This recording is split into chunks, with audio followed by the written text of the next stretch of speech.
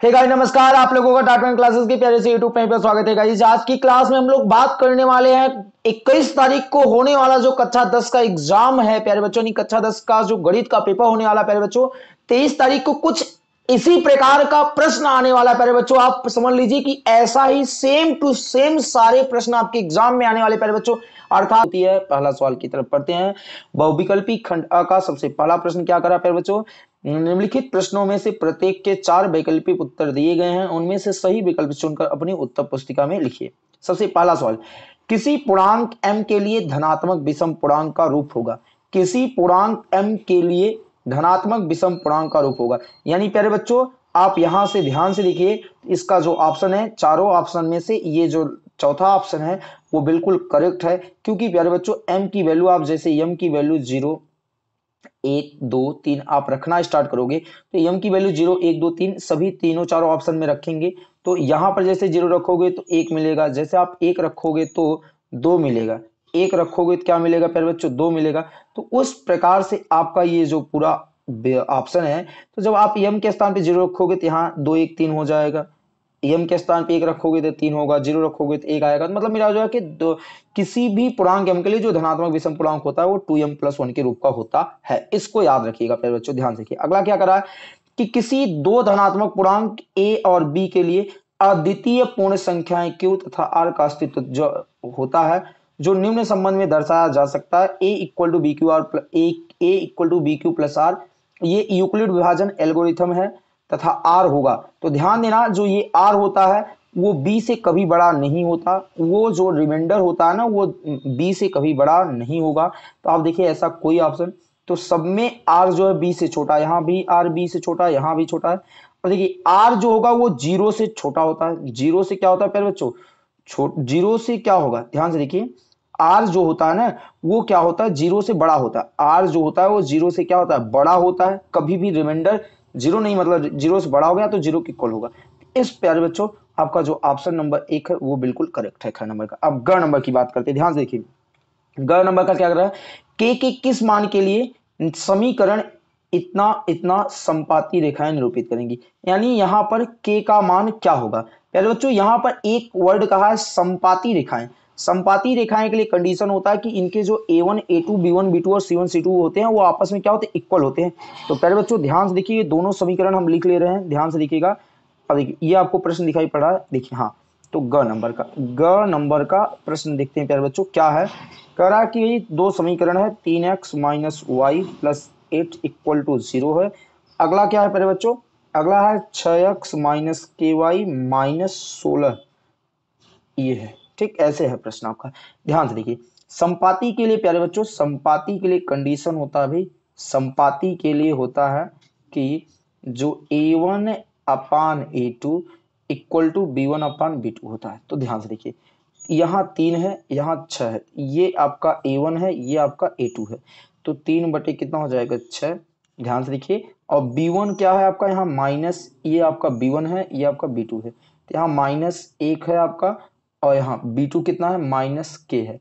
Minus minus से cancel हो जाएगा। तीन एक, तीन तीन दूनी छह के की के एक कन्नम के दो एक कन्नम दो। के की वैल्यू कितनी आ जाएगी? दो आ जाएगी, प्यारे बच्चों। के की वैल्यू कितनी आ जाएगी? दो। तो जो भी ऑप्शन नंबर आपका है ऑप्शन नंबर कौन सा प्यारे बच्चों? ध्यान से देखिए। ऑप्शन नंबर आपका सेकंड है। कौन सा प्यारे बच्चों? सेकंड ऑप्शन नंबर क्या? सेकंड बिल्कुल करेक्ट आप ये टिक लगा लीजिए। चलिए। अब थर्ड नंबर में क्या करा? कि भाई फोर्थ नंबर कि यदि द्विघात समीकरण इतना है तो के मूल समान है तो के का मान ज्ञात कीजिए।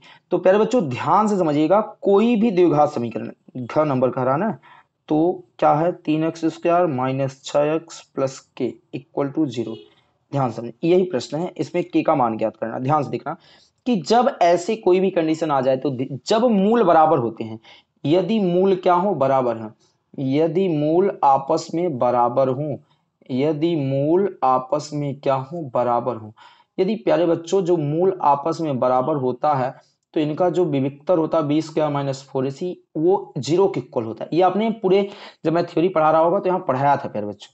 तो बी की वैल्यू देखिए, यहाँ ए की वैल्यू तीन है बी की वैल्यू छह है और सी की वैल्यू के है। चलिए तो बी के स्थान पे क्या रखेंगे? माइनस छह का वर्क करेंगे, माइनस चार ए के स्थान पे तीन और सी सी के स्थान पे क्या है? के है इक्वल टू ज़ीरो ध्यान से देखिए छह का वर्ग कर देंगे प्यारे बच्चों, कितना आ जाएगा? छत्तीस, चार त्याई बारह। बारह के आ जाएगा प्यारे बच्चों इक्वल टू ज़ीरो माइनस बारह के उधर चला जाएगा तो क्या हो जाएगा? प्लस बारह के हो जाएगा। बारह त्याई क्या हो जाएगा? छत्तीस तो के की वैल्यू कितनी आ जाएगी? तीन। तो प्यारे बच्चों, जो भी ऑप्शन है वो आप मिला लीजिए। देखिए ऑप्शन नंबर कौन सा है? के इक्वल टू क्या? तीन। यानी ये आपका फ़र्स्ट नंबर क्या है? बिल्कुल करेक्ट है। तो गाइस देखिए पांचवानी अंगा नंबर प्रश्न क्या करा कि यदि x plus one upon X equal to seven हो तो X square plus one upon X square का मान क्या होगा? आपको चार ऑप्शन दिया गया पहले। बच्चों, बहुत ही अच्छा और बहुत ही सस्ता प्रश्न है। हम इसको यहीं पे क्लियर कर देते हैं कि देखो, यहाँ पर क्या है कि इन दोनों का आप वर्क कर दीजिए। दोनों तरफ़ क्या कर दीजिए? वर्क कर दीजिए। तो जैसे ही आप इनको क्या कर देंगे प्यारे बच्चों वर्ग कर देंगे तो क्या आ जाएगा? ध्यान देखिए ये स्क्वायर हो जाएगा, प्लस एक बटे एक्स स्क्वायर होगा, प्यारे बच्चों। प्लस टू ए बी तो टू ए ए के स्थान पे कौन है? एक्स है, बी के स्थान पे एक बटे एक्स इक्वल टू सात का वर्ग करेंगे, उनचास आ जाएगा। ये एक्स से एक्स कैंसिल हो जाएगा तो आपके सामने यहाँ पर बच जाएगा एक्स स्क्वायर प्लस एक बटे एक्स स्क्वायर। इक्वल टू, ये जो उनचास है ना, ये जो उनचा, कहाँ गया? हाँ ये जो प्लस दो है ये प्लस दो उधर जाएगा तो उनचास माइनस दो हो जाएगा। उनचास में दो घटा देंगे, सैतालीस। यानी प्यारे बच्चों, जो आपका आंसर आएगा वो सैतालीस आएगा। ये ऑप्शन नंबर करेक्ट है, आप मिला लीजिए। आगे चार नंबर क्या करा कि चित्र में एबीसी के आधार पे बीसी के समांतर रेखाखंड पीक्यू खींचा गया। ये एबीसी कोई त्रिभुज है बीसी के पैरेलल बीसी के पैरेलल ये पीक्यू लाइन खींची गई है। यदि पीक्यू अनुपाते बीसी पी क्यू अनुपाते बी सी एक अनुपाते तीन है। प्यारे बच्चों पी क्यू और बी सी का जो रेशियो है वो एक बटे तीन है, यानी एक अनुपाते तीन है। आगे कह रहा है कि ए पी और पी बी तो ए पी और पी बी इनका अनुपात क्या होगा? तो ध्यान से देखिएगा, इनका जो अनुपात होगा प्यारे बच्चों, वही होगा जो इन दोनों का अनुपात है। अर्थात क्या हो जाएगा प्यारे बच्चों, एक अनुपाते क्या होगा? दो। ऑप्शन नंबर आपका कौन सा है? पहला करेक्ट है। आगे क्या करा? बिंदु तीन और चार की वाई अक्ष से दूरी है। बिंदु तीन और चार की वाई अक्ष। तो ध्यान से देखिए, अगर हम इसको डायग्राम में बनाना चाहें तो आप आराम से बना सकते हैं, जैसे कि बिंदु तीन चार। बिंदु तीन चार करने का मतलब है, प्यारे बच्चों, की एक आप ऐसे ग्राफ बनाइए। ठीक, ये आपका एक्स अक्ष होता है, ये आपका वाई अक्ष होता है। ठीक, ये एक्स अक्ष होता है। ठीक, अब क्या होता है कि ये बिंदु मूल बिंदु था ज़ीरो ज़ीरो यहाँ एक होगा, यहाँ दो होगा, यहाँ तीन होगा, यहाँ चार होगा, यहाँ भी एक होगा, यहाँ दो होगा, यहाँ तीन होगा, यहाँ चार होगा। बिंदु तीन और चार एक्स पे तीन है वाई पे कितना है? चार, यहाँ है। तो लगभग हम कह सकते हैं प्यारे बच्चों कि ये जो बिंदु आएगा, वो बिंदु यहाँ आएगा, तीन और चार। बोला वाई अक्ष से बिंदु की दूरी। तो प्यारे बच्चों वाई अक्ष से बिंदु की जो दूरी होगी वो y से कितना है? चार है ना? तो ये देखिए वाई से कितना सॉरी वाई से कितना है? तीन। ये जो चार है, ये y का कोऑर्डिनेट है प्यारे बच्चों। तो y अक्ष से इस बिंदु की जो दूरी है, वो तीन है। तो ऑप्शन नंबर देखिए प्यारे बच्चों, कौन सा सही है? यहाँ देखिए तो कितना है प्यारे बच्चों? तीन इकाई। यहाँ दिया है ना, देखिए, ये, ठीक, तीन इकाई। तो आप यहाँ लगा देंगे। आगे क्या करा? ध्यान देखिए, अगला प्रश्न क्या करा? कि यदि तीन कॉट ए बराबर चार तो सेक ए का मान ज्ञात कीजिए। तो बिल्कुल आसान से हम इसको ज्ञात कर लेंगे। ध्यान देना कि देखिए, एक एक नंबर के सारे प्रश्न हैं। तो तीन कॉट ए बराबर चार तो सेक ए का मान ज्ञात करना है। कौन सा नंबर है? तो प्यारे बच्चों, ज नंबर क्या कर रहा है? प्रश्न आपका था, तीन कॉट ए बराबर कितना है? चार तो सेक ए का मान ज्ञात करना है। तो प्यारे बच्चों, ध्यान से देखिए कि ये इधर चला जाएगा तो कॉट ए बराबर होता है चार बटे तीन। अब ध्यान से देखिए कॉट ए बराबर फॉर्मूला होता है आधार बटे लंब। क्या होता है? आधार बटे लंब। यानी आधार चार दिया है, लंब तीन दिया है। तो आपका कर्ण कितना हो जाएगा? कर्ण का फार्मूला होता है ना फिर बच्चों, कर्ण का फार्मूला होता है आधार का स्क्वायर प्लस लंब का इसका अंडर रूट में। तो आधार कितना है फिर बच्चों? आधार चार है तो इसका वर्ग करेंगे। लंब कितना है? तीन है तो इसका वर्ग कर देंगे। तो चार चौक का वर्ग करेंगे तो सोलह, ये नौ आ जाएगा। सोलह, नौ प्लस कर देंगे तो प्यारे बच्चों पच्चीस आएगा। इसको अंडर से बाहर करेंगे तो पाँच आ जाएगा। कितना आ जाएगा? कर्ण की वैल्यू पाँच आ गई। कर्ण की वैल्यू कितनी आ गई? पाँच। अब क्या पूछा था? कौन सा वैल्यू पूछा था? सेक ए तो सेक ए सेक ए का फॉर्मूला होता है प्यारे बच्चों कर्ण बटे आधार। कर्ण बटे आधार। तो बताओ कर्ण यहाँ कितना है आपका? पाँच आपने निकाला, आधार कितना है? चार। तो पाँच बटे चार ऑप्शन क्या है? करेक्ट है। तो देखिए ऑप्शन में क्या आपको कहीं पाँच बटे चार दिखाई पड़ रहा था पहले बच्चों? तो देखिए ऑप्शन में ये देखिए, पाँच बटे चार सेकेंड ऑप्शन है। ये बिल्कुल करेक्ट हो जाएगा। आइए हम अगले प्रश्न की तरफ़ बढ़ते हैं। अगला प्रश्न आपका से क्या करा ध्यान से देखिए क्या करा तीस अंश का मान क्या होगा? चाहो तो आप प्यारे बच्चों इसको वैल्यू रख के हल कर सकते हैं। या तो आप इनको डायरेक्टली फार्मूले पर भी रख सकते हैं। तो ये फार्मूला किसका होता है प्यारे बच्चों? साइन टू थीटा का फार्मूला होता है। किसका फार्मूला होता है? साइन टू थीटा का। क्योंकि जो साइन प्यारे बच्चों, ध्यान से देखिएगा sine two theta equal to formula क्या होता है? Two tan theta upon one minus tan square theta होता है। तो यहाँ जहाँ थीटा है, वहीं क्या है? तीस है। जैसे ही थीटा के स्थान में हम तीस रखेंगे तो तीस गुना क्या हो जाएगा? साठ। तो साइन, साठ आंसर आपका क्या हो जाएगा? करेक्ट आंसर हो जाएगा। अगला प्रश्न आपसे क्या करा प्यारे बच्चों, ध्यान देखिए। यदि किसी समय एक ऊर्ध्वाधर खंबे की परछाई उसकी ऊंचाई के बराबर हो जाए, ना तो सूर्य का उन्नयन कोण होगा? ध्यान से देखिए, क्या कर रहा है कि कोई खंबे की ऊंचाई, प्रश्न ध्यान से देखिएगा, क्या कर रहा है? यहाँ आपका जगह है, स्पेस बचा हुआ है, यहाँ पर देखिए। कह रहा कि यदि कोई खंभे की ऊंचाई परछाई की क्या हो जाए? बराबर हो जाए। खंभे की जो ऊंचाई है, ये जो ऊंचाई है प्यारे बच्चों, वो क्या कर रहा है कि खंभे, एक ऊर्ध्वाधर खंभे की परछाई उसकी ऊंचाई की क्या हो जाए? बराबर हो जाए। तो उस समय सूर्य का उन्नयन कोण क्या होगा? तो बिल्कुल आप आसान तरीके से बता सकते हैं। ध्यान से देखिए। इसको हमको लगाना पड़ेगा। तो आइए हम हल करते हैं। क्या करा कि प्रश्न हमने पढ़ ही लिया है। ध्यान से देखना है। बस केवल हल करना है उसको। तो क्या है? प्रश्न नंबर आपका कौन सा था फिर बच्चों? प्रश्न नंबर आपका था, कौन सा प्रश्न नंबर था आपका? ईया नंबर। क्या था? ईया नंबर ना? तो ईया नंबर क्या था? ध्यान देखिए, कह रहा प्यारे बच्चों कि यदि ऊर्ध्वाधर खंभे की परछाई, ये ऊर्ध्वाधर खंभा हो, ये खंभा हो गया, इसकी ये परछाई हो गई, ना? ये और ये दोनों आपस में सेम हो जाए तो उस समय उन्नयन कोण क्या होगा यही थीटा बताना है। तो मैं मानता हूँ, अगर खंबे की ऊर्ध्वाधर ऊंचाई एच है, प्यार बच्चों एच है, ठीक तो क्या होगा? ध्यान देखिए टेन थीटा बराबर होता है लंब बटे आधार। तो यहाँ लंब बटे क्या हो जाएगा? आधार। लंब कितना है? एच और ये इसके बराबर हो जा रहा तो ये भी एच हो तो ये कैंसिल होकर एक हो जाएगा। तो प्यारे बच्चों टेन थीटा एक किसका मान होता है? ध्यान देखिए, एक टेन पैंतालीस का मान होता है। टेन टेन कैंसिल तो थीटा इक्वल टू कितना आ जाएगा? फोर्टी फाइव तो प्यारे बच्चों थीटा का वैल्यू कितनी आ जाएगी? पैंतालीस अंश। तो आइए देखते हैं क्या ऑप्शन ऐसा कोई दिखाई पड़ रहा है जो कि हमारे लिए करेक्ट होने वाला है। तो ध्यान से देखिए। तो प्यारे बच्चों, ये रहा थीटा की वैल्यू जो है पैंतालीस अंश ये थर्ड नंबर ठीक? आगे क्या करा? आगे करा कि टर्न नंबर इक्कीस सेंटीमीटर त्रिज्या वाले वृत्त के किसी चाप द्वारा केंद्र पर बना कोण साठ अंश है। केंद्र पर बना कोण साठ अंश है तो चाप की लंबाई क्या होगी? ध्यान से देखिएगा, ऐसे प्रश्न बहुत ही बेहतरीन है। टर्न नंबर कह रहा है प्यारे बच्चों, ध्यान से देखिए टर्न नंबर त्रिज्या आपको 21 सेंटीमीटर दी गई थी, ठीक? ऐसा सवाल हमने पढ़ाया, प्यारे बच्चों। फिर उसके बाद क्या करा कि जो केंद्र बना कोण, यानी थीटा इक्वल टू कितना है? साठ अंश है। आपसे पूछा चाप की लंबाई। तो प्यारे बच्चों, जो चाप की लंबाई के लिए फार्मूला हम लोग उपयोग करते हैं, देखिए, सबसे पहला इंपॉर्टेंट बातें हैं कि आपको फार्मूला याद होना चाहिए। उसका फार्मूला होता है थीटा बटे तीन सौ साठ गुणे टू पाई आर। क्या होता है? गुणे टू पाई आर। वैल्यू रख देते हैं। थीटा की वैल्यू साठ है, अपन तीन सौ साठ हो जाएगा, गुड़े टू। पाई की वैल्यू रखना चाहो तो बाईस बट सात रख दो। आर। आर की वैल्यू कितनी है, प्यारे बच्चों? इक्कीस है। सात तरीक कितना हो जाएगा? इक्कीस हो जाएगा। साठ छक्के तीन सौ साठ, दो इक्के दो दो त्याई छः और ये तीन से तीन कैंसिल हो जाएगा, पूरा कितना आ जाएगा? बाईस। तो जो भी आंसर होगा वो बाईस होगा। देखिए, मिला लीजिए क्या है। बाईस मिल रहा है आपके प्रश्न में। तो प्यारे बच्चों, देखिए, बाईस सेंटीमीटर यहाँ ये ऑप्शन करेक्ट हो जाएगा। अगला क्या करा है? चौथा नंबर क्या करा प्यारे बच्चों? की एक घड़ी की मिनट की सुई की लंबाई चौदह सेंटीमीटर है तो मिनट की सुई द्वारा रचित क्षेत्रफल क्या होगा? एक मिनट में सुई के द्वारा, एक मिनट में सुई के द्वारा रचित क्षेत्रफल कितना होगा? ध्यान से प्यारे बच्चों तो ध्यान से देखिए, एक घड़ी की मिनट की जो सुई है तो ध्यान से देखिए।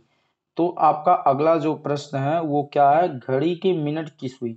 यानी मिनट की सुई की लंबाई, मिनट के सुई की जो लंबाई है, वो कितना है? सुई की जो लंबाई है, वो चौदह सेंटीमीटर है ना? आगे कह रहा, मिनट की सुई की लंबाई चौदह सेंटीमीटर है और कह रहा कि एक मिनट में रचित क्षेत्रफल तो एक मिनट में तो बहुत आसान तरीके से हम जानते हैं कि दस मिनट में, दस मिनट में सुई के द्वारा अंतरित कोण सुई के द्वारा अंतरित कोण सुई के द्वारा अंतरित कोण जो होता है, प्यारे बच्चों, अंतरित कोण कितना होता है जानते हैं? साठ अंश होता है। अब दस मिनट की बात, अगर हम यही करें एक मिनट में तो एक मिनट में क्या हो जाएगा प्यारे बच्चों? एक मिनट में सुई के द्वारा अंतरित कोण हो जाएगा, दस से भाग हो जाएगा तो साठ बटे दस हो जाएगा, कैंसिल हो जाएगा छः तो छः आ जाएगा, कितना? छः डिग्री। अब हम फार्मूला लगा देंगे थीटा बटे तीन सौ साठ पाई आर स्क्वायर। थीटा की वैल्यू वही छः बटे तीन सौ साठ गुड़े पाई की वैल्यू बाईस बटे सात। त्रिज्या कितनी है? चौदह गुड़े चौदह। सात दूनी चौदह कैंसिल हो जाएगा। ठीक, ये आ जाएगा साठ। ठीक, दो एक दो, तीस दूनी साठ, ग्यारह दूनी बाईस, यहाँ पंद्रह दूनी कितना हो जाएगा? तीस हो जाएगा पहले बच्चों। तो यहाँ आ जाएगा चौदह बटे पंद्रह। कितना? चौदह बटे कितना आ जाएगा? पंद्रह। ये आ जाएगा। कुछ तो आप भूल तो नहीं रहे प्यारे बच्चों। नहीं, भूल तो नहीं हो रही होगी। हाँ ये भूल रहे हो। चौदह गुणे ग्यारह है। चौदह गुणे ग्यारह। तो अब चौदह गुणे ग्यारह और पंद्रह से डिवाइड कर देते हैं। देखते हैं कितना आंसर आता है प्यारे बच्चों। तो प्यारे बच्चों, जब इन सबको आप हल करोगे तो दस दशमलव दो छः आएगा। ठीक? तो आइए देखते हैं दस दशमलव दो छः किस ऑप्शन में मिल रहा है। तो प्यारे बच्चों, ध्यान से देख पा रहे होंगे तो दस दशमलव दो छः सेमी स्क्वायर, ये है ऑप्शन नंबर एक करेक्ट है। आगे क्या कर है कि 10 सेंटीमीटर कोर के घन की लकड़ी को टुकड़े से काटकर अधिकतम आयतन का एक शंकु बनाया गया तो शंकु का आयतन क्या होगा? ये भी बहुत ही बढ़िया सवाल है, बहुत ज़बरदस्त है। देखिए, घन का कोई किनारा है, घन का किनारा है तो प्यारे बच्चों, वही जो घन की किनारा होगा, घन का किनारा, जो प्यारे बच्चों, घन का जो किनारा है वो शंकु की ऊंचाई हो जाएगी, बराबर शंकु की ऊंचाई। तो घन का किनारा बराबर क्या हो जाएगा? शंकु की ऊंचाई। तो ध्यान से देखिए तो घन का किनारा कितना है? दस सेंटीमीटर। तो भाई ऊंचाई भी शंकु की वही हो जाएगी, ठीक? अब बात आ रही प्यारे बच्चों की, घन का जो व्यास, घन का जो व्यास है, घन का जो किनारा है, वो शंकु का व्यास होगा। जो घन का किनारा है, वो किसका हो जाएगा? शंकु का व्यास, शंकु का व्यास।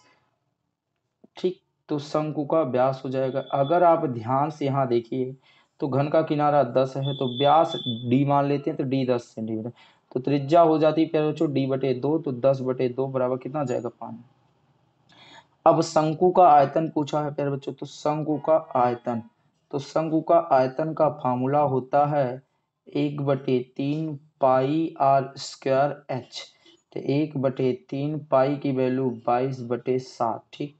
आर आर की वैल्यू कितनी प्यारे बच्चों? पाँच गुड़े पाँच एच की वैल्यू कितनी है? दस। चलिए हल कर लेते हैं प्यारे बच्चों तो ध्यान से देखिए, इन सबको हल करेंगे। तो सबको हल करके डिवाइड कर देंगे। इन सबको हल करेंगे तो दो सौ इकसठ दशमलव नौ ज़ीरो आएगा। कितना आएगा? नौ ज़ीरो सेमी क्यूब देखिए आंसर मिलाई क्या ऐसा कोई ऑप्शन मिल रहा है आपको? दो सौ इकसठ दशमलव नौ ज़ीरो। देखिए, दो सौ इकसठ दशमलव नौ ज़ीरो, जो कि ऑप्शन नंबर थर्ड है। ये बिल्कुल आपका करेक्ट आंसर है तो आप इसको लगा सकते हैं, ठीक? अब आगे। आगे क्या करा प्यारे बच्चों? एन प्रेक्षणों का माध्य बार एक्स है। यदि प्रत्येक प्रेक्षण को ए बढ़ा दिया जाए तो नया माध्य क्या होगा? तो प्यारे बच्चों, ध्यान से देखिएगा, जैसे मैंने कहा कि यन प्रेक्षणों का माध्य यन प्रेक्षण। तो सबसे पहले मान लेते हैं कि यन प्रेक्षण जो है प्यारे बच्चों, वो इस प्रकार थे। यन प्रेक्षण जो थे, वो आपके इस प्रकार ए वन फिर ए टू फिर dot dot dot A N थे ना?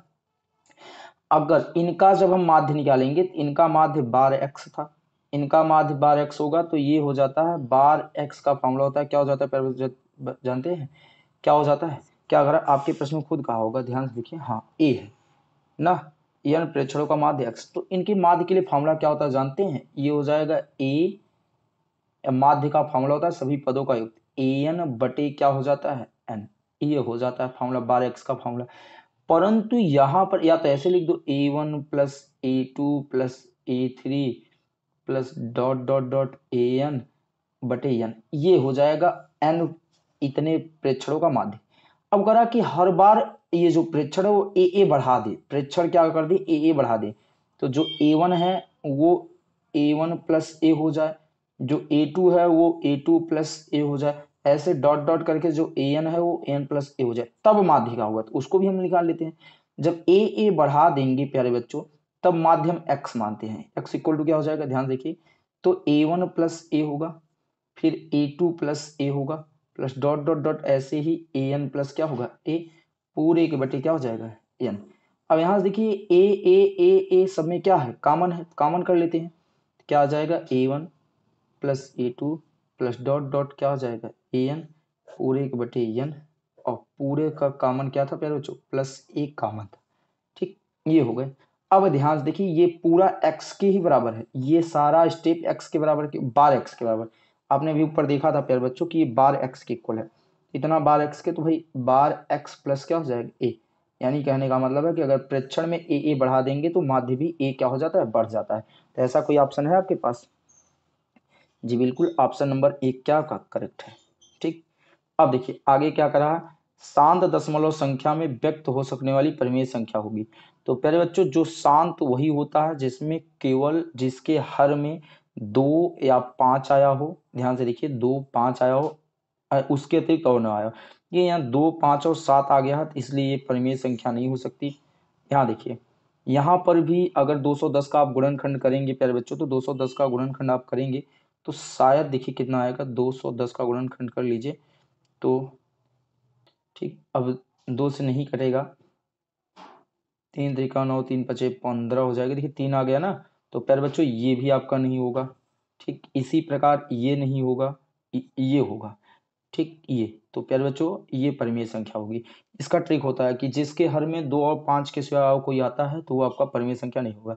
फिर आगे करा एक्स प्लस तीन वाई प्लस पाँच इक्वल टू ज़ीरो तथा दो एक्स प्लस छः बराबर सोलह का हल होगा। अद्वितीय होगा, क्या होगा, क्या नहीं होगा, ध्यान देखिए। एक बटे दो, यहाँ अनुपातों की तुलना करेंगे प्यार बच्चों। ए वन बटे ए टू, एक बटे दो आ जाएगा। एक बटे दो यहाँ भी आएगा, तीन बटे छः। तो प्यारे बच्चों, जब A one upon A two equal B one upon B two हो, ठीक, क्या करा है कि A one equal, A one upon A two equal B one upon B two हो उसका जो होता है प्यारे बच्चों, उसका अनेक हल होता है। क्या होता है? अनेक हल होता है। इसका ऑप्शन ये करेक्ट हो जाएगा प्यारे बच्चों। अब आगे देखिए, अगला करा, यदि एक बटे एक्स इसका प्लस छः बराबर एक बटे दस हो तो एक्स का मान क्या होगा? क्रॉस मल्टीप्लाई कर देते हैं। ध्यान से देखिए, बहुत ही बेहतरीन सवाल है। क्या करा? ध्यान से देखिए कि एक्स स्क्वायर ध्यान से ये सवाल है। एक बटे एक्स स्क्वायर प्लस एक बटे एक्स स्क्वायर प्लस छ बराबर एक बटे दस। क्रॉस मल्टीप्लाई करते हैं तो एक्स स्क्वायर प्लस छ बराबर कितना आ जाएगा? दस। उसको उधर कर देंगे तो एक्स स्क्वायर बराबर दस माइनस छः हो जाएगा। एक्स स्क्वायर बराबर कितना आ जाएगा? चार। इसका हम इधर से स्क्वायर हटाएँगे तो इधर क्या लग जाएगा? अंडर रूट और इसकी वैल्यू हो जाएगी दो। तो प्लस माइनस दो। तो प्यारे बच्चों ऑप्शन में देखिए, आपका जो है, यहाँ पर कोई ऐसा जो प्लस माइनस दो दिख रहा है, ये देखिए ऑप्शन नंबर दो बिल्कुल करेक्ट है। चलिए। और ऐसे ही क्रम में हम अगले प्रश्न की तरफ़ चलते हैं। अगला प्रश्न क्या कर रहा है? ध्यान से देखिए प्यारे बच्चों, अगला प्रश्न क्या कर रहा है कि चित्र में ए एच के और ए बी सी समरूप त्रिभुज हैं। ए एच के और ए बी सी दोनों समरूप हैं। ए के इक्वल टू दस, यानी ए के इक्वल टू दस है। बी सी इक्वल टू तीन दशमलव पाँच। बी सी कितना है? तीन दशमलव पाँच है। एच के सात है। एच के यहाँ कितना है? सात है। आगे कह रहा ए सी का मान कितना होगा? प्यारे बच्चों तो जब कोई भी समरूप त्रिभुज होता है तो उनकी जो भुजाओं का अनुपात होता है, आपस में बराबर होता है। ठीक? अर्थात हम कह सकते हैं कि यहाँ एच के अपान एच के अपान क्या हो जाएगा? बी सी इक्वल टू क्या होगा? ए के अपान ए सी ए के अपान क्या हो जाएगा? अब हम वैल्यू रख देते हैं। एच के की वैल्यू कितनी है? सात, यहाँ कितनी है? तीन दशमलव पाँच, यहाँ ए की वैल्यू दस ए सी की वैल्यू नहीं पता, वही ज्ञात करना है। ये देखिए, ये पॉइंट कटाएँगे तो ऊपर दस लग जाएगा। पैंतीस के पैंतीस पैंतीस गुना सत्तर, ठीक?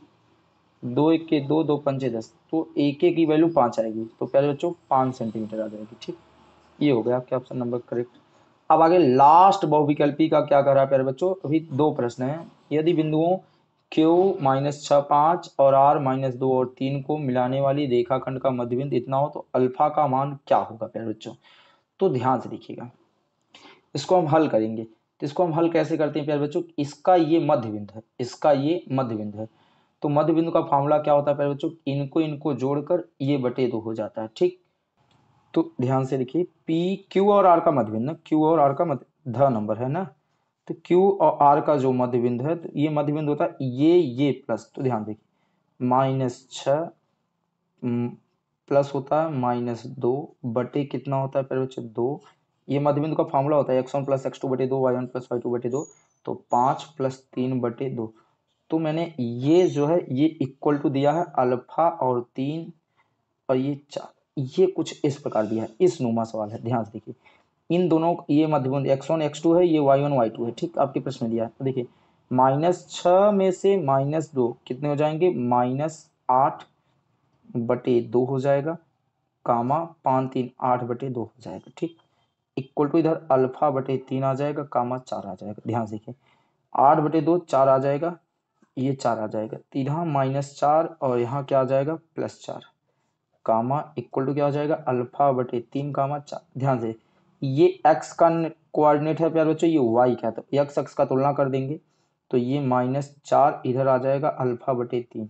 क्रॉस मल्टीप्लाई कर दें तो अल्फ़ा इक्वल टू आ जाएगी माइनस बारह। तो प्यारे बच्चों ऑप्शन नंबर मिला लीजिए। अल्फ़ा की वैल्यू जो होगी, वो माइनस बारह आया तो क्या है? ऑप्शन नंबर देखिए, ये है आपका। सेकेंड नंबर ऑप्शन क्या है? करेक्ट है। ठीक लास्ट क्या करा? यदि tan theta equal to A upon B हो तो B sine theta minus A cos theta plus B sine theta A cos theta का मान क्या होगा? तो ध्यान से देखिए, केवल आपको यहाँ साइन थीटा और कॉस थीटा का मान निकालना है और रख देना है। चलिए, बहुत सरल प्रश्न है, एकदम आसान सा है। Tan theta equal to A upon B है लास्ट नंबर नौ नंबर ना देखिए टेन थीटा इक्वल टू कितना है? ए अपान बी है। ये आपका लंब है, ये आपका लंब है, और बी आपका क्या है? पहले बच्चों, आधार। ये आपका लंब है, ये आपका आधार है तो ध्यान देखिए, अब लंब और आधार दिया है तो हम क्या निकालेंगे? कण। तो कण का फार्मूला होता है, पहले बच्चों, कण बराबर होता है, आधार का वर्ग प्लस लंब का वर्ग। तो आधार हो जाएगा बी स्क्वायर और लंब हो जाएगा ए स्क्वायर ठीक, ये हो जाएगा कण का फॉर्मूला अब आपके पास क्या पूछा? साइन थीटा और कॉस थीटा का मान चाहिए। साइन थीटा बराबर होता है लंब बटे कण। लंब बटे कण। तो लंब कितना है? ए और कण कितना है? ये अंडर रूट में B square plus A square ठीक। ऐसे ही कॉस थीटा चाहिए। तो कॉस थीटा बराबर क्या होता है? आधार बटे कण। आधार कितना है? बी है और कण कितना है? B square plus A square चलिए। अब जो आपके प्रश्न में दिया गया था, पहले उसको देख लीजिए। क्या पूछा? यही पूछा है ना? कि प्यारे बच्चों, ये B sine theta minus A cos theta B sine theta minus A cos theta पूरे के बटे क्या है? B sine theta plus A cos theta का मान बताना है। ध्यान से देखिए। तो प्यारे बच्चों, ये मैंने यहाँ पर लिखा है, इसी का मान बताना है। केवल आपको वैल्यू रखना है, देख के देखिए। तो बी है। साइन थीटा की वैल्यू यहाँ से देखिए। तो ए अपान अंडर रूट में कितना है? B square plus A square ठीक? ये है माइनस ए कॉस थीटा का मान कितना पहले बच्चों? कॉस थीटा का मान है ए गुड़े बी बटे अंडर रूट में B square plus A square ठीक? पूरे के बटे बी ठीक? अब देखिए बी क्या है पहले बच्चों? ध्यान देखिए बी साइन थीटा का मान कितना है? वही है ए ठीक? अंडर रूट में कितना आ जाएगा? B square plus A square ठीक? फिर वही यहाँ ए आ जाएगा, फिर कॉस थीटा के साथ बी अंडर रूट में A square plus B square ठीक? वैल्यू रख दिए। अब आप देखिए प्यारे बच्चों, यहाँ हर बराबर है, यहाँ भी हर बराबर है तो आपका अंश जुड़ जाएगा। तो देखिए बी ए बी ए तो सेम प्रोडक्ट ये ये ये घट जाएगा तो मिला जुला क्या जाएगा प्यारे बच्चों? सारा चीज़ कट के ज़ीरो आ जाएगा। तो आइए ऑप्शन नंबर देखते हैं, क्या कोई ऐसा है? तो आई वी नंबर क्या है? ज़ीरो है, जो कि बिल्कुल करेक्ट है प्यारे बच्चों। इस प्रकार आपका जो बहुविकल्पी प्रश्न पूर्ण रूप से कंप्लीट हो जाता है। अब हम बात करेंगे अगले खंड तो प्यारे बच्चों, ध्यान से देखिए कि अगला प्रश्न आपका क्या है? खंड ब से हर एक प्रश्न यहाँ से आपके दो दो नंबर वाले हैं। प्यारे बच्चों, ध्यान से देखिएगा, सबसे पहला क्या करा है? क्या प्रत्येक धनात्मक पूर्णांक चार क्यू प्लस टू के रूप का हो सकता है? आगे जहाँ क्यू एक पूर्णांक है, अपने उत्तर का औचित्य दीजिए प्यारे बच्चों। तो इस प्रश्न का जवाब आपको पढ़ाया गया प्यारे बच्चों। आप इस प्रश्न को ज़रूर तैयार कर लीजिएगा। आपके एग्ज़ाम में ये प्रश्न पूछ सकता है। यदि आपको ये प्रश्न तैयार करने में कोई दिक्कत आता है तो आप जवाब कमेंट बॉक्स में ज़रूर कीजिएगा। तो इसके लिए जो है आपको जिस जिन जिन प्रश्नों को आपको दिक्कतें आएँगी, उन सभी प्रश्नों का जवाब दिया जाएगा। फिर बच्चों, अगला। मोस्ट इंपॉर्टेंट रहने वाला प्रश्न सिद्ध कीजिए कि अंडर रूट दो एक अपरिमेय संख्या है। ये भी एग्ज़ाम में ज़बरदस्त क्वेश्चन पूछता है। प्यारे बच्चों, इसको भी आप तैयार ज़रूर करिएगा। दो नंबर का है। आगे, दो संख्याओं का अंतर 26 है। और एक संख्या दूसरी संख्या के तीन गुनी है तो संख्याएँ ज्ञात करना बहुत ही गजब सवाल है। दो संख्याओं का अंतर कितना है पहले बच्चों? 26 है। यदि मान लेते हैं कि वो दो संख्याएँ कौन है? एक एक्स है, एक y है तो x minus Y equal to कितना है? 26 है नंबर फ़र्स्ट है। आगे करा। एक संख्या दूसरी संख्या के तीन गुनी, यानी एक संख्या एक्स जो है, वो दूसरी संख्या के कितनी है? तीन गुनी है। तो दूसरी संख्या क्या है? दूसरी संख्या y है, दूसरी संख्या के तीन गुनी। ये तीन y हम यहाँ रख दें। तो तीन वाई यहाँ रख देंगे, तीन वाई में से एक वाई घटा देंगे, दो वाई दो y में से कैंसिल करके तेरह आ जाएगा। वाई की वैल्यू तेरह आ जाएगी प्यारे बच्चों, और अगला भी तेरह आ जाएगा। तो बिल्कुल हम आसान तरीके से लगा सकते हैं प्यारे बच्चों तो ये आ जाएगा। आगे क्या करा कि यदि समीकरण यम स्क्वायर माइनस तीन एक्स स्क्वायर तीन एम एक्स प्लस तीन एम माइनस वन बराबर ज़ीरो के के मूल एक दूसरे के व्युतक्रम हो तो यम का मान ज्ञात कीजिए। तो ये भी आप तैयार कीजिएगा प्यारे बच्चों। अगला क्या करा चित्र में त्रिभुज पी क्यू आर की जो भुजा है पी आर और क्यू आर का बिंदु एस तथा टी है। यदि कोण पी आर टी एस के बराबर तो सिद्ध कीजिए कि ये इतना त्रिभुज समरूप होता है ये भी प्रश्न मैंने आपको प्रश्नौली में बताया है प्रश्नौली के दौरान। आप वहाँ से जाके इसको अटेंड कर सकते हैं, प्यारे बच्चों। बहुत ही विधिवत तरीके से वहाँ से आप तैयार कर सकते हैं। ये आप, अब इन दोनों में से किसको समरूप सिद्ध करना है, प्यारे बच्चों? वो R P Q R T S R P Q देखिए आर पी क्यू यानी बड़ा वाला और ये आर टी एस दोनों को समरूप सिद्ध करना प्यारे बच्चों। तो आप समरूप सिद्ध कर सकते हैं जिसमें से ये वाला एंगल और ये वाला एंगल दोनों बराबर दिया है। और ये भुजा उभयनिष्ठ है, ये वाली भुजा उभयनिष्ठ है, दो ठो हो गए, बराबर हो गए प्यारे बच्चों। इस बात को ध्यान देना बस। और ये आर एंगल आर देखिए, angle R angle R equal to angle R क्यों? क्योंकि ये प्यारे बच्चों उभयनिष्ठ है, दोनों में एंगल आर है, अगला angle P equal to angle T ये दोनों कोण बराबर हैं तो ए ए समरूपता नियम से ये दोनों त्रिभुज समरूप हो जाएँगे। आगे ध्यान दीजिए प्यारे बच्चों। अगला क्या रहा? Sine theta minus two sine cube theta equal to क्या है प्यारे बच्चों? तो ध्यान से अगर देखिए तो ये जो है, ये ये ये यहाँ से लेके यहाँ तक, यहाँ से लेके यहाँ तक देखिए तो प्यारे बच्चों बहुत ही, यहाँ से अगर हम साइन थीटा कॉमन कर ले, यहाँ से साइन थीटा कॉमन कर ले, यहाँ से कॉस थीटा कॉमन कर ले तो जो ही प्यारे बच्चों, यहाँ से साइन थीटा कॉमन लोगे तो बचेगा one minus two sine square theta ऊपर बचेगा, वही चीज़ नीचे बचेगा, दो cos square theta minus one ठीक? और यहाँ बच जाएगा क्या प्यारे बच्चों? साइन थीटा यहाँ और बटे कॉस थीटा ये आपने कॉमन लिया था, ठीक? तो ये आपका ये वन माइनस दो साइन स्क्वायर थीटा ये किसका फॉर्मूला होता है प्यारे बच्चों? कॉस टू थीटा का होता है ये भी कॉस टू थीटा का होता है जो कि कट जाएगा प्यारे बच्चों तो आपका मिला मिला क्या जाएगा साइन थीटा बटे कॉस थीटा जो कि टेन थीटा के बराबर होता है ये दोनों कट जाएँगे कॉस टू थीटा के फॉर्मूले हैं तो ये आपका टेन थीटा के बराबर हो जाएगा प्यारे बच्चों आगे क्या करा कि तीन तीन नंबर प्रश्न करा निम्नलिखित में से किन्हीं तीन खंडों को हल कीजिए आगे तीन खंड करना प्यारे बच्चों चार प्रश्न दिए गए चार खंड में से एक, एक। मोस्ट इंपॉर्टेंट रहने वाला प्यारे बच्चों, ये वाला जो प्रश्न है आपके एग्ज़ाम में कई बार पूछा। क्या करा? दी गई आकृति एबीसी में 14 सेंटीमीटर त्रिज्या वाले एक वृत्त का चतुर्थांश है। तथा बीसी को व्यास मानकर एक अर्धवृत्त खींचा गया है। देखिए, क्या करा? एबीसी एक कोई त्रिभुज है, जिसका जो 14 सेंटीमीटर व्यास है 14 बीसी को व्यास मानकर बीसी को व्यास मानकर एक क्या कर रहा है प्यारे बच्चों? एक अर्धवृत्त खींचा, छायांकित भाग का क्या ज्ञात करना? क्षेत्रफल ज्ञात करना। तो आपको करना क्या है आपको ये वाले भाग का क्षेत्रफल ज्ञात करना ये वाले। तो ये वाले भाग का क्षेत्रफल कैसे मिलेगा, आपको ध्यान से समझना है। सबसे पहले ये अर्धवृत्त है, देख रहे हैं इस पूरे अर्धवृत्त के क्षेत्रफल में से, ध्यान से देखिए, सबसे पहले चतुर्थांश देखिए। यहाँ से लेके यहाँ तक है ना तो चतुर्थांश में से ये त्रिभुज के क्षेत्रफल को बाहर कर दीजिएगा और साथ में साथ में प्यारे बच्चों ये आपको जो है, ये वाले भाग का क्षेत्रफल बाहर कर दीजिएगा तो आपको ये छांकित भाग का मिल जाएगा। अन्यथा, प्यारे बच्चों, ये वाला प्रश्न मैंने आपको बता के रखा, आप वहाँ से जाके प्लेलिस्ट में आप देख सकते हैं, प्यारे बच्चों। आगे ध्यान से देखिए, अगला प्रश्न क्या करा? कि एक त्रिभुज एबीसी खींचे, जिसकी भुजाएँ ए बी चार सेंटीमीटर हो बी सी पाँच सेंटीमीटर, और ए सी छह सेंटीमीटर हो, और इस त्रिभुज एबीसी के समरूप। एक त्रिभुज की रचना कीजिए, जिसकी भुजाएँ त्रिभुज एबीसी की संगत भुजाओं की दो बटी तीन गुनी, रचना के चरण के। प्यारे बच्चों, इस समय ये प्रश्न हम बता सकते हैं, प्यारे बच्चों। ये हमने नहीं पढ़ाया, परंतु एक बार आप लोग ज़रूर प्रयास कीजिएगा। अगर आपको कहीं इस प्रश्न के लिए, पर्सनली इस प्रश्न के लिए दिक्कतें आती हैं तो आप ज़रूर कमेंट बॉक्स में कमेंट कीजिएगा तो मैं इसको सेपरेट रूम में एक इस प्रश्न को बता दूँगा, प्यारे बच्चों। तो आप वहाँ जाके देख सकते हैं। अगला क्या है? एक ठोस, एक शंकु के आकार का, जो कि समान आधार त्रिज्या के अर्धगोले पर एक अध्यारोपित है यदि अर्धगोले का वक्र पृष्ठ तथा शंकु का वक्र पृष्ठ समान हो तो शंकु की त्रिज्या ऊंचाइयों का अनुपात। मोस्ट इंपॉर्टेंट प्रश्न ये भी प्यारे बच्चों प्रश्नावली के अध्ययन के दौरान बताया गया। आप वहाँ से जाकर अटेंड कर सकते हैं इसको। आगे, एक कक्षा के विद्यार्थियों द्वारा गणित में प्राप्तांक निम्नलिखित है, ऐसे ऐसे दिया गया। माधिका ज्ञात करना। तो प्यारे बच्चों, माधिका ज्ञात करने के लिए व्यंजक होती है, जो कि होता है, माधिका इक्वल टू होता है L N by two minus C F into H बटे एफ़ ये होता है फॉर्मूला प्यारे बच्चों और बिल्कुल इसको हम आसान तरीके से हल कर सकते हैं। ऐसा क्वेश्चन मैंने मोस्ट इंपॉर्टेंट करके एक प्रश्न बताया है आठ नंबर आठ नंबर में जो रिपीट वाले प्रश्न है तो उसमें मैंने मोस्ट इंपॉर्टेंट करके ये क्वेश्चन बताया तो आप वहाँ देख सकते हैं पहले बच्चों आगे क्या करा, अगला प्रश्न। निम्नलिखित में से किन्हीं तीन खंडों को हल कीजिए। तो यहाँ से भी तीन ही खंड आपको करना है। अब यहाँ के जो प्रश्न है, सारे प्रश्न चार चार नंबर के तैयार हो रहे हैं पहले बच्चों ध्यान देखिए। Sine A minus B equal to एक बटे दो, cos A plus B equal to एक बटे दो तो ये ए जो है बड़ा है बी से तो ए और बी का मान ज्ञात कीजिए। पर जो बच्चों मोस्ट इंपॉर्टेंट सवाल है इस बात को ध्यान देना बस, बहुत ही इंपॉर्टेंट प्रश्न है प्यारे बच्चों। इस बात को हमको केवल ध्यान देना पड़ेगा बस।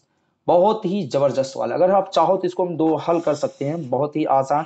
थोड़ा सा आपको ऐसा अजीब सा लग रहा होगा तो इसके लिए बात कर रहा हूँ प्यारे बच्चों। तो ध्यान से देखिए, क्या कहता है।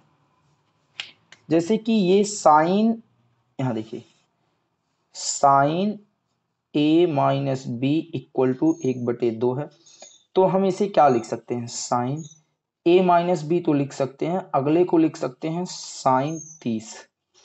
साइन से साइन कैंसिल होगा तो A minus B equal to क्या जाएगा? तीस, समीकरण नंबर एक। ऐसे अगला दिया है cos a plus b a plus b equal to कितना है? एक बटे दो। इसे हम क्या लिखेंगे? एक बटे दो को कॉस साठ लिख सकते हैं पहले तो cos a plus b equal to कितना हो जाएगा? कास साठ हो जाएगा। कास से कास कैंसिल हो जाएगा तो a plus b equal to कितना आ जाएगा जानते हैं? साठ। समीकरण नंबर दो।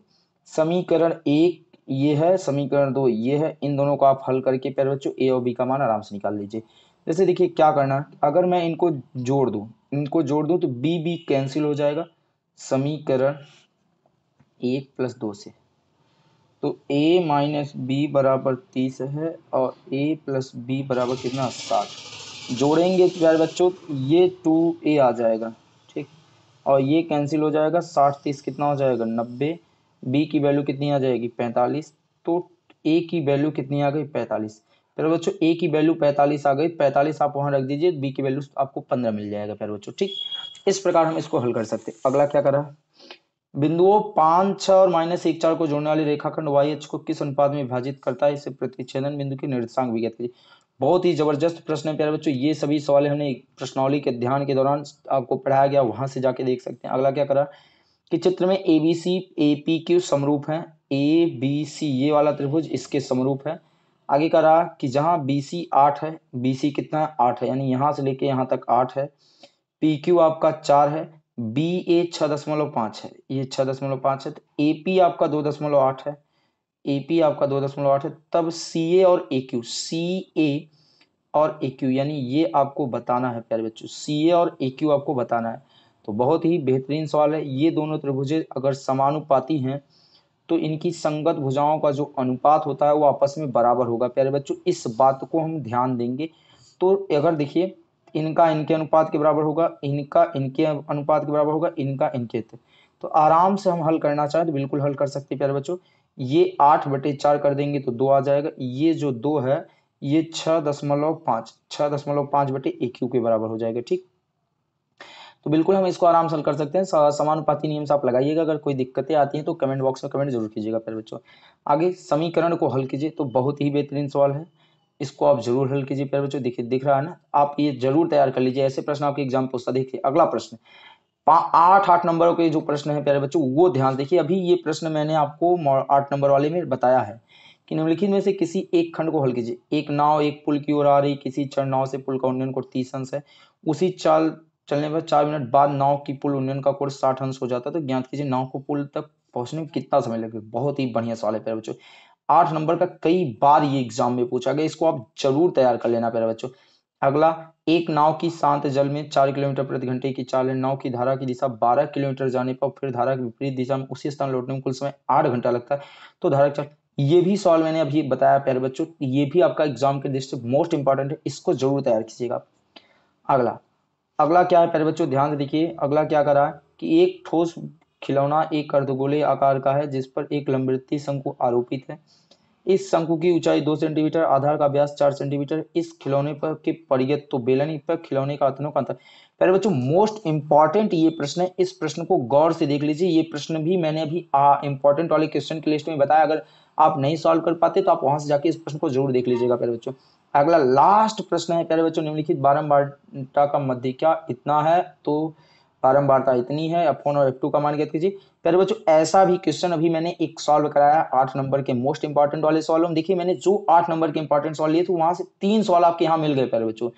वहाँ एक्स वन और एक्स और वाई था, यहाँ आपका एफ़ वन और एफ़ टू है, बस यही अंतर है प्यारे बच्चों, बाकी सेम सेम टू सेम सवाल ऐसे ही बताया मैंने। आप देखिए, ये आप देख सकते हैं। तो इस प्रकार प्यारे बच्चों, इस प्रकार प्यारे बच्चों, आपका ये जो मॉडल पेपर है, वो पूर्ण रूप से समाप्त होता है प्यारे बच्चों। I hope